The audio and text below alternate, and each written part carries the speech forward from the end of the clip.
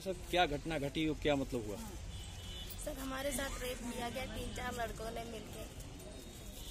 क्या नाम कौन है लोग थे? एक का नाम था बंटी एक का नाम था फुल्लन और एक का नाम था अनिरुद्ध प्रताप सिंह राठौर। वो मेरे घर में रात में कूदा भी था। अनिरुद्ध प्रताप तो हमने सौ नंबर को बुला के उसको अरेस्ट करवाया था। और एक हैगा क्या कहते हैं बड़े लला। कहाँ के रहने वाले थे ये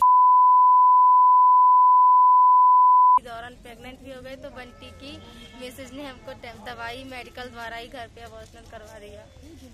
उसके बाद शिकायत की किसी से? शिकायत हमने जब हम शिकायत हम थाने में आए थाने में शिकायत की तो कोई यादव जी करके थे तो सर उनने कुछ सुना ही नहीं और उन्होंने उस लड़के को जिसको पकड़ा था उसको क्या कहते हैं हल्का केस करके उसको मतलब वो करवा दिया।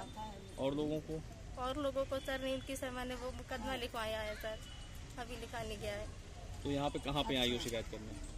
एस पी ऑफ़िस शिकायत करने आई है? हाँ सर। कोई सुनवाई नहीं हुई है? नहीं सर अभी कोई सुनवाई नहीं हुई है। आपका कोई पर्सन बर्तन सर मेरे दो बहनें हैं छोटी छोटी मम्मी पापा मेरे एक्सपायर हो गए हैं। क्या नाम है?